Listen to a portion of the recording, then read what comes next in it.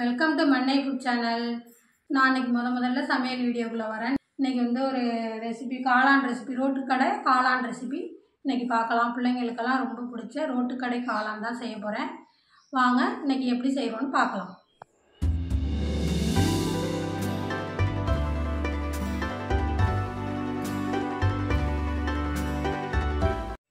இங்கே பாருங்கள் முட்டைகோஸ் அரிஞ்சு அலசிட்டு க- வச்சிருக்கிறேன். இது மாதிரி சின்ன சின்னதாக கட் பண்ணியிருக்கேன். இது வந்து இரநூறு கிராம் எடுத்திருக்கேன்.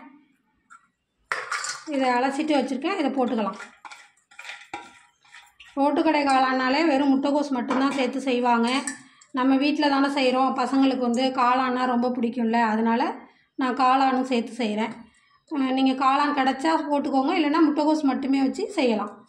இரநூறு கிராம் முட்டைக்கோஸ் எடுத்திருக்கேன். இரநூறு கிராம் காளான். இங்கே பாருங்கள் குட்டி குட்டியாக அந்த மாதிரி கட் பண்ணி வச்சுருக்கேன். க்ளீன் பண்ணிவிட்டு கட் பண்ணி வச்சுருக்கேன். இப்போ இதையும் இந்த முட்டைக்கோஸோடு சேர்த்துக்கலாம்.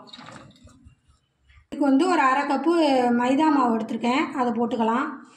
நீங்கள் மைதா மாவு வேண்டாம்னு நினச்சிங்கன்னா கோதுமை மாவு கூட சேர்த்துக்கலாம். மைதா தான் போட்டிருக்கேன். இது கூட கால் கப்பு கார்ன்ஃப்ளவர் மாவு சேர்த்துக்கலாம். அரை டேபிள் ஸ்பூன் உப்பு சால்ட் உப்பு. இஞ்சி பூண்டு பேஸ்ட்டு ஒரு ஸ்பூனு.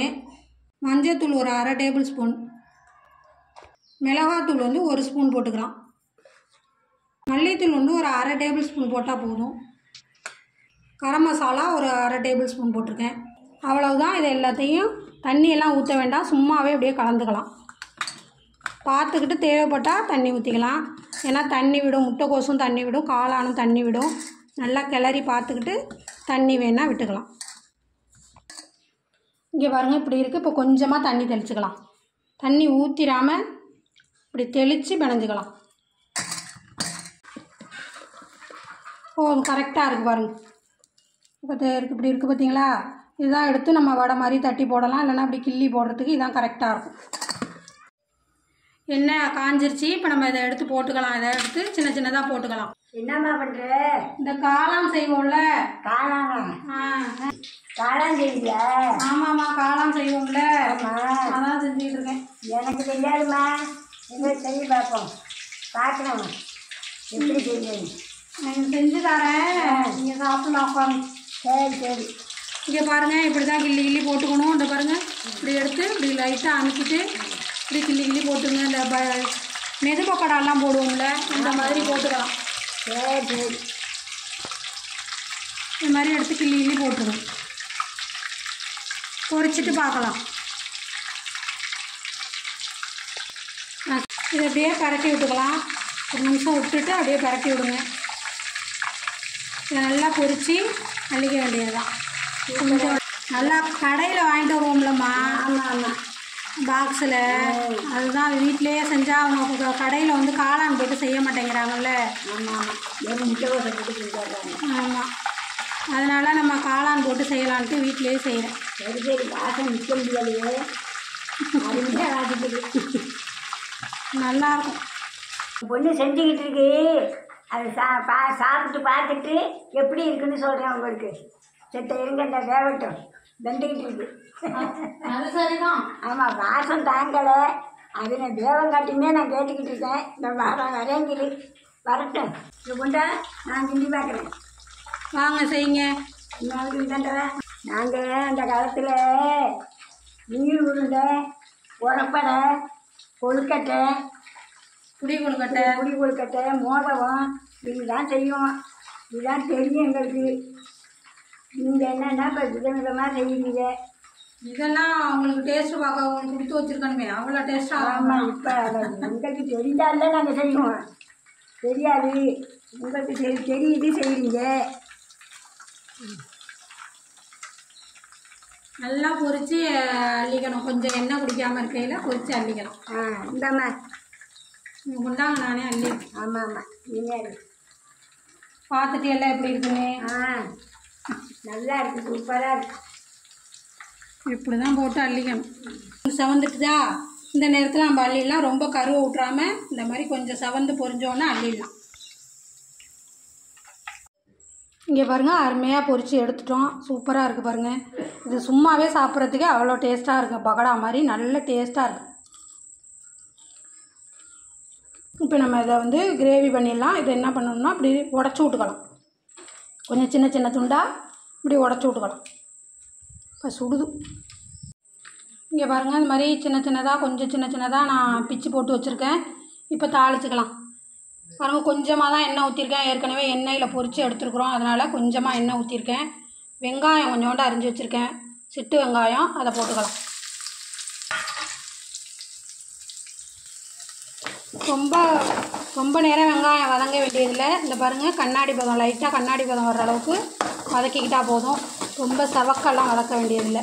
இஞ்சி பூண்டு பேஸ்ட்டு ஒரு ஸ்பூன் போட்டுக்கிறேன். ஒரு அரை டேபிள் ஸ்பூன் மிளகாத்தூள். ஏற்கனவே அதில் வர மிளகாத்தூள் போட்டு போட்டிருக்கோம். அதனால் அரை டேபிள் ஸ்பூன் போதும். டேபிள் ஸ்பூன் மல்லித்தூள் போட்டுக்கலாம். இதுக்கு மட்டும் தேவையான அளவுக்கு உப்பு.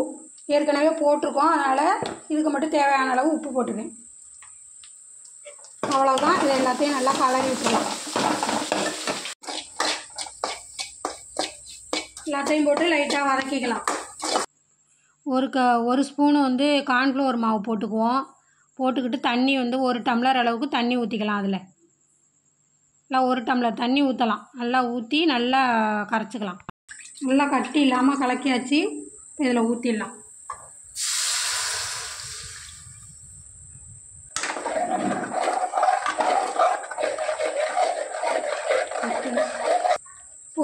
இப்போ சோயா சாஸ் ஊற்றிக்கிறேன்